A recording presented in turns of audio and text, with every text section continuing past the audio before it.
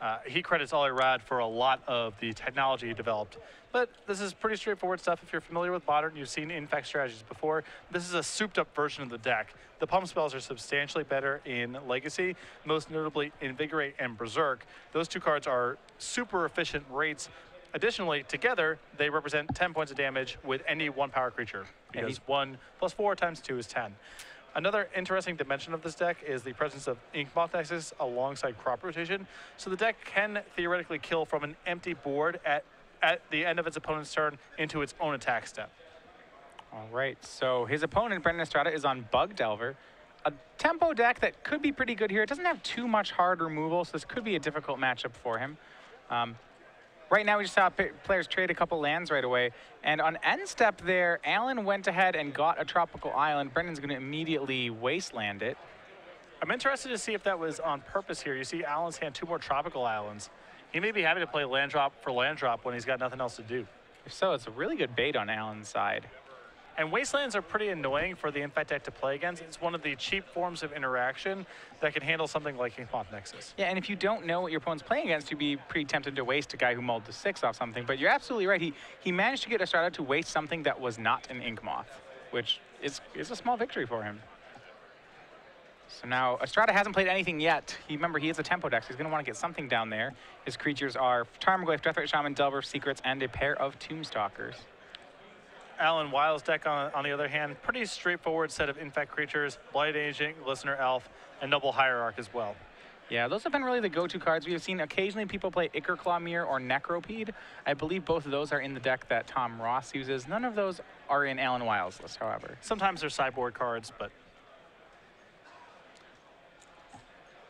We'll see what he goes for. It's going to be a Tarmogoyf, but that's going to meet with a Daze and Dazed back. Yeah, I do not believe that Alan floated mana there, so uh, Brennan was able to daze back. Had he floated mana, he would have been able to pay for that Daze. I'm also not sure if it was even worthwhile for Alan to fight over that Tarmogoyf. You see his hand with two uh, Blighted Agents, he's got a Berserk and an Invigorate. To me, the fight has to be over a removal spell like, you know, something that can interact. This Tarmogoyf's a pretty slow clock. Yeah, we see on Estrada's side, he's going to go ahead now Hymn to Tourach while. And six cards in his hand. So he's going to get a random two of them. This could be could be pretty good. One through five. He gets a Berserk. And an Invigorate. So the, the two halves of the two card combo both gotten. The Berserk's not too bad to get, as actually Weil has a second Berserk, but that Invigorate, I have to assume is going to hurt some. That was a big piece of the puzzle here for Weil. More also importantly is up until now, Estrada probably assumed his opponent was also on Bug Delver, but now he, the, you know, now he knows a lot better. Although it appears that Weil has just top decked another Invigorate, so Yeah, I believe it actually was a Might of Old Krosa. Ah. So can still uh, generate a combo kill alongside Berserk. absolutely, Blighted Agent is the play for a while. Will there be a Liliana or an Abrupt Decay or a Disfigure for it? We will see. In the absence, there it looks like he does have an Abrupt Decay. He also has another Hymn to Tourach. So he has to pick how much does he respect a combo kill here?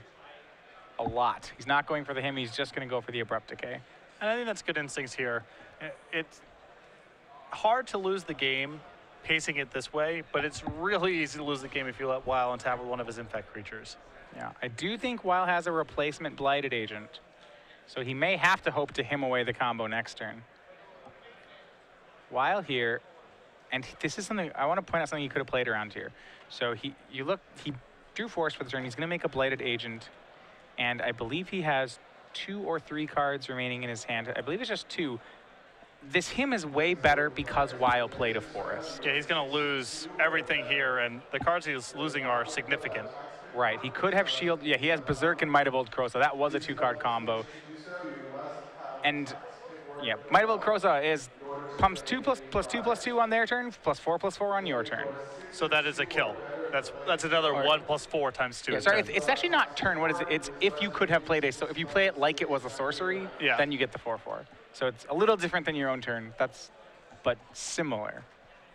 You have to have it on- functionally very similar, though Yeah. not quite the same thing. Yeah, with the the fated cards in standard are like that, except that they say turn, so you can do stuff like you know, I can upkeep, cast a Fated Conflagration at your face, and then I get my Scry too. But you, with Might of Old Krosa, you would not get the powered up version. Correct. So he's going to need some help. Blighted Agent is joined by another Blighted Agent. But Weil's down to eight. He's not winning this race right now. Yeah, he's way behind, and this deck is all about generating two cards. You know, you need two pump spells. Ideally, it's something like Invigorate Berserk. And Alan does not really have two draw steps left. Ponder is the play for Estrada. He has one poison on him. I don't believe Weil has a draw that can get him enough poison next turn. Well, he may be able to chump block and then draw running a, a running sequence of spells. That's Yeah. a possibility. Yeah, one of these agents is going, you're right though, is going to have to chump block.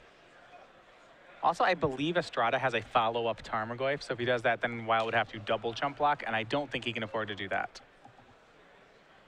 Yeah, I mean, at this point, you have to play like like Brennan has nothing.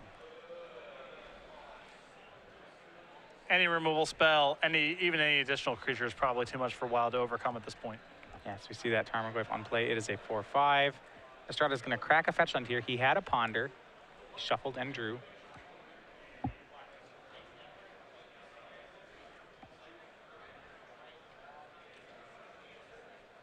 So if he has a follow-up Tarmogoyf here, I think that's going to do it.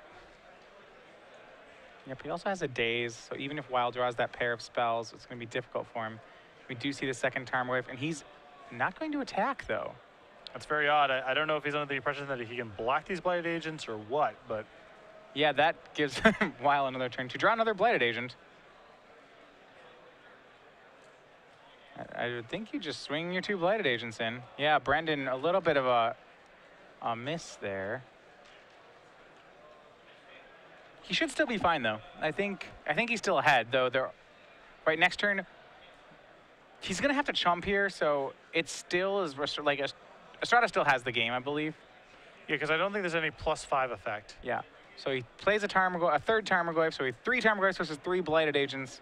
This race is in the Tarmogoyf's favor. One of them gets chumped by a Blighted Agent. Weil will go down to four, I believe.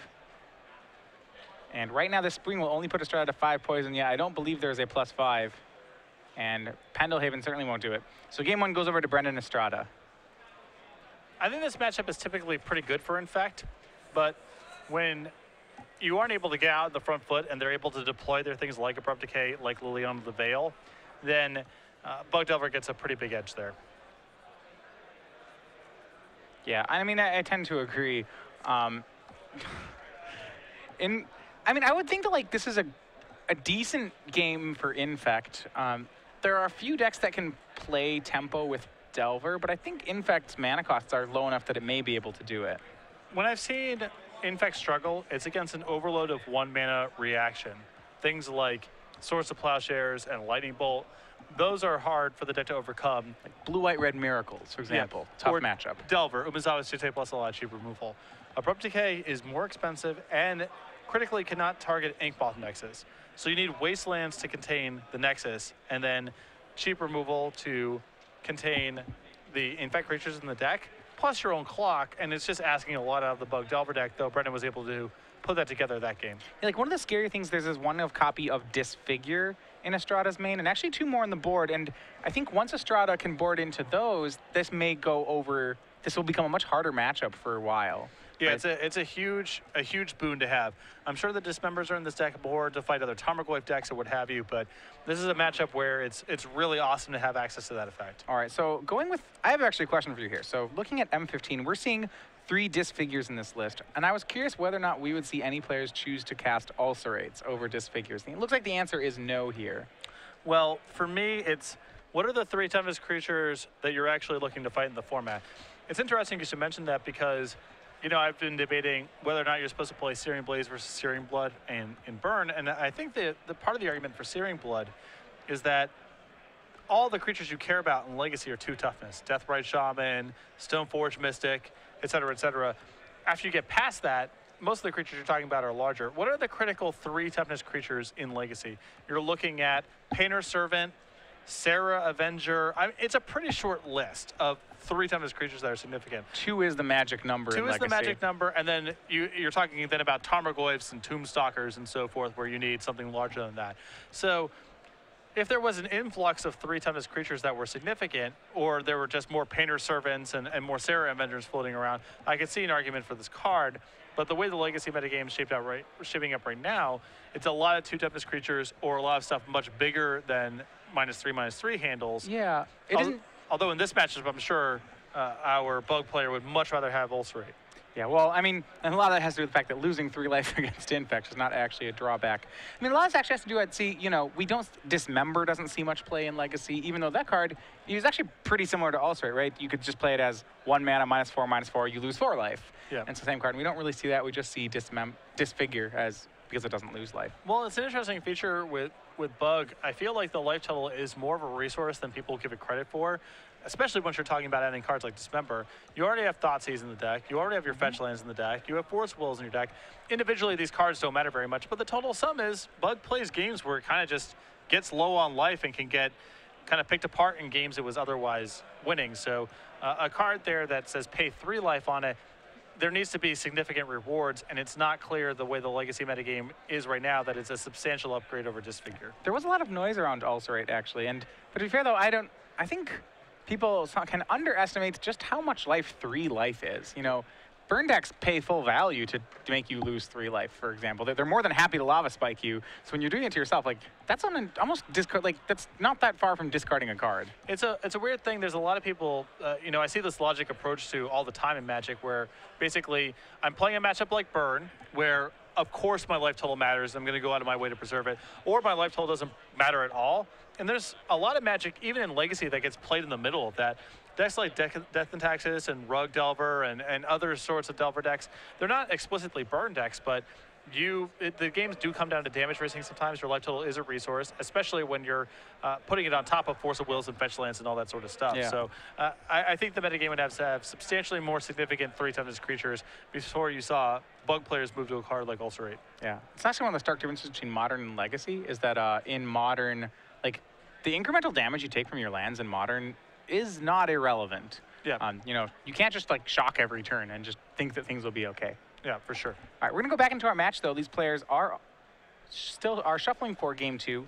We do have Brennan Estrada left, Alan Weil right, Infect and Bug Delver. Right now, Bug Delver up, up a game here. It is really kind of about like the cheap removal does seem to matter. It's interesting. Disfigure has become a card that's like it's kind of a black lightning bolt if you're looking for one. The two most important creatures, or if you had to summarize the the format's three most important creatures, what's your list? Stoneforge Mystic, Delver of Secrets, Deathrite Shaman. And it kills them all. Right. There you go. It is it is weird to see a format so powerful play what looks like a booster draft common. It always stands out in these lists, but it, it is the best removal spell Black has access to to handle the most significant creatures in the format. Hey, it was a high pick in Zendikar Limited though. It was really good in draft. It was yeah, really good in I draft. mean, I don't. They never really made it past fifth pick. Yeah, but it was Black's second best common. right, but Grazing Gladehart was also really good in draft, and it's not knocking down any doors in Legacy. So, That's true. to my knowledge, Neither is Hideous End, which was actually the best, I, in most people's opinion, better than Dis- Disfigure it was time. also, in my opinion, better than Disfigure. Yeah. They wouldn't, you know, Hideous End is like, you don't get removal like that in draft much anymore. That's like like a common unconditional murder with drawback, with, they with upside. They don't make them like they used to as far as that goes. They No. decided it's better to let people actually manifest their synergies rather than the best draft decks always being blue black, kill it, bounce all your stuff, and kill you with a generic flyer. Brandon Estrada on the on the draw. He's going to keep seven. Weil is on six cards for the second game. Aaron Forsythe referred to it as, I believe, gravedigger divination strategies, which were always, or not always, but very often the best thing to be doing in draft. You'd much rather be the guy casting the Doomblade than the guy casting the target for Doomblade. Yeah. So I like that draft is less the case like that now than it used to be. One of the things that I've actually, and I've thought about this a bit in drafting, which you see in M15, is I've liked how they aren't getting rid of removal. You know, we saw like in Avacyn Restored, how that can actually be problematic. When Yeah. you when you when there's no good removal, things can really go bad. But you know, so, for example, in M15, say like black's the removal color, right? You have like some pretty good removal. You have uh, a convoke four mana, like you have Covenant of Blood, it drains for four. You have the five mana basic dark, you know, kill a creature it can't regenerate. But it's they've cost to them at the point where it's no longer like a lot of games. You know, you'd ask what's the best common in this card, you'd be like, oh, it's the kill spell. You know, and it's questionable now whether that is still true. Yeah, to me, it's about sort of density too. Like one really high quality removal spell at common for a color may make the drive experience better. In fact, because Lightning Strike. Yeah, but having three cards as good at, li- at Lightning Strike at common means that too much of the games are about just killing all of your opponent's stuff rather than doing proactive things. So I can't have Doomblade and Tendrils of Corruption and Merfolk Looter. Right. That, for example, I think even Doomblade at common is a mistake. So a lot of it also is just about saturation and density. All right, we are underway. Alan Weil, turn one on the play with Inkmoth Nexus, and it's gonna hit, get hit by Wasteland. And we're back on to Alan Weil. Hope, probably, almost, probably hoping to swing with that card. This one's gonna showing the strength of Wasteland. He has a ton of lands here. He has his first three cards we can see are three fetch lands. But having that Inkmoth Nexus get tagged there is really rough. That's one of his. That's the card in the matchup that's the, hardest for Brennan to handle. Though he does have those dis, uh, dismembers that we alluded to before. Uh, Remember, you can't Abrupt Decay in Inkmoth Nexus even after it's been activated because it, Inkmoth Abrupt Decay says non-land card. And now Alan, I believe, has no infect creatures left over. And Dismember is so nice in this matchup too, more so than Lightning Bolt is, or Disfigure rather, and the Dismember. Or you said you has Just oh, disfigure. oh, just Disfigure. Still an upgrade over something like Lightning Bolt or Plow in the matchup because often what happens in the in the matchup is you know. You try to play a removal spell. I play, try to play my guide. You remove it. In response, I invalidate your removal spell. You still at least get the minus two, minus two, which Right. means that you can survive certain attacks. It's not like Lightning Bolt and Giant Growth, where when you bolt their guy in the Giant Growth, that you just lose everything. right. So we had there Brandon on his turn tried to make his own threat in terms of Delver of Secrets. Alan kind of flooded on lands, took that opportunity to daze the Delver of Secrets, at least keeping the board clean while he searches for another infect threat. I think another really critical tool in this matchup for Alan is access to crop rotation. Because Brennan plays so much on his own turn, he plays a lot of sorcery speed stuff, that crop rotation into Nexus into kill you is a real line of play. And in fact, he may want crop rotation even more than he wants certain creatures in this matchup. Yeah. He does have a creature. This is Noble Hierarch. Remember, in the Infect deck, this is the one creature they play four of that is not an Infector. Mainly because, first, of the card quality is pretty good, and it does pseudo infect damage by pumping your Infectors.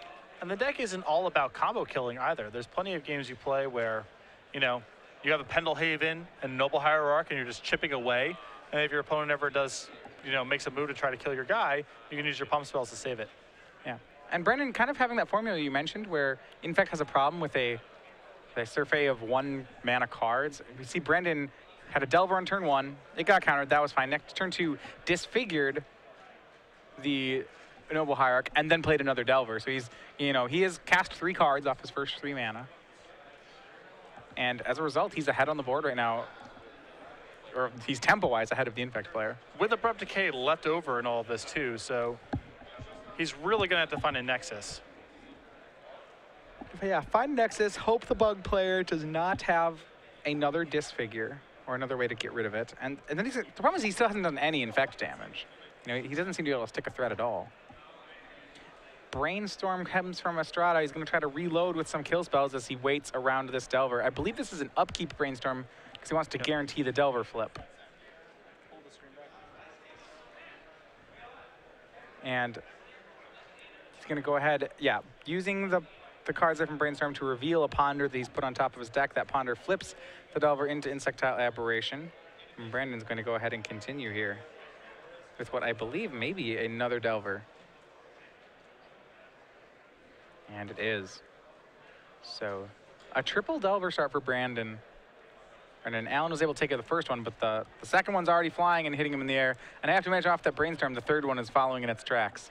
But don't count Alan out of this game just yet. Crop rotation can still steal this. He's going to see what he's up against. He casts the Gitaxian Probe. He sees Ponder, Misty Rainforest, and Tarmogoyf. Alan, cognizant of just how much damage these Delvers can do, opted to pay for the Gitaxian Probe with blue instead of punching himself for it.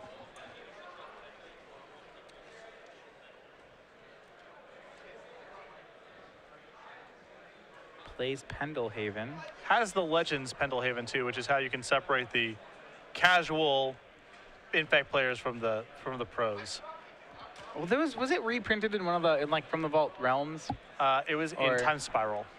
Oh, okay, so it's not a time shifted Pendelhaven. Right, right. It may have been in some from the vault, though I don't think so. But Okay, second Delver flips this time too. Takes six. Alan is down to eight. That one's going to flip off that abrupt decay we'd been mentioning. And Brennan is he's just going to go aggro here. Tarmogoyf joins the pair of Delvers. This is could be lethal. I mean, is lethal as soon as next turn. yeah. It's far enough ahead that there is almost an argument for leaving back one of the insectile aberrations to protect him from a crop rotation, but also an argument made for just trying to get him dead. Yeah, card accidentally knocked off the top. Not a big deal. Judge corrects that play. Alan's going to get a creature on the board, but is it going to be enough? It's Blighted Agent.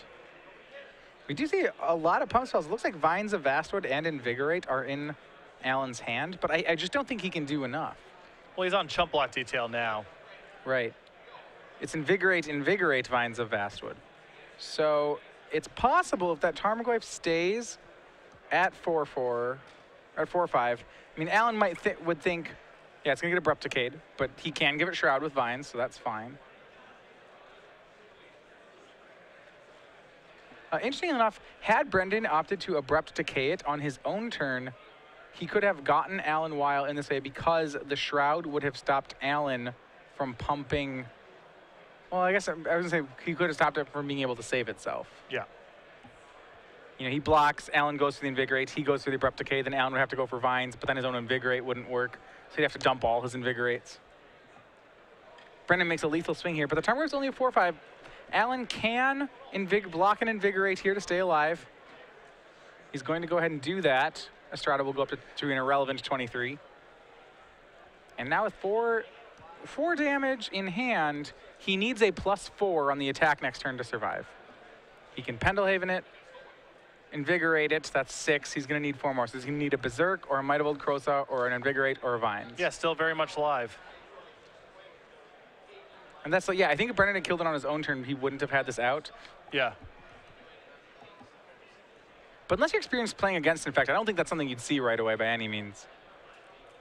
And that looks like a Vendilion Clique cast here. Well, in response, he's going to go ahead and invigorate his own Blighted yeah. Agent. I mean, you might as well just blank it. So, well, there- there's a problem here. I think he, he needed to Pendelhaven in response to that. yes, that that puts the four outer. I mean, Berserk's still an out, but, But it takes away the other outs. correct. But doesn't top card was. Noble Hierarch, so it didn't end up on... How, that would have been one of those moments if he'd realized, like, say he flipped Vines there, he'd look Yeah. and be like, oh, oh. Too bad. Yep. But as is, Brenden Estrada wins two games to zero over Alan Weil. He's going to be moving on to seven and one, possibly in top eight. Maybe needs one more win. We will see. But Alan Weil at six and two, he is done for the day. One more round to see if he can finish in the top 32. But